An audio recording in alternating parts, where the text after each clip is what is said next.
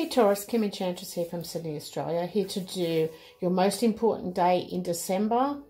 So we're looking at the Animal Tarot card for you guys, and it's going to all happen around the 5th of December for you.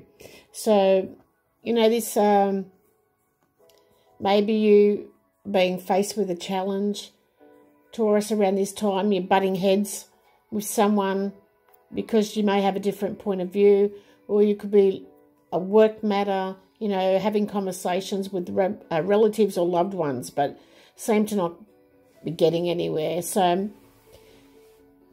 on the 5th of December, it may be the best idea to let it go. So you minimise this conflict without having to sacrifice your goals or whatever you believe in. Now, just know the five of spring is the age of spiritual awakening, where the world has entered upon the path of progress into this arena of development where the power of spirit surpasses that of the body. So soon the spirit will have dominion over the world of humanity.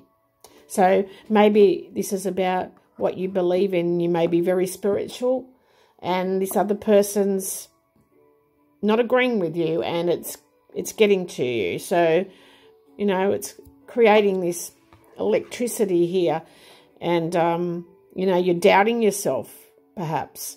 So know that if you minimize this um, conflict, it's going to help you.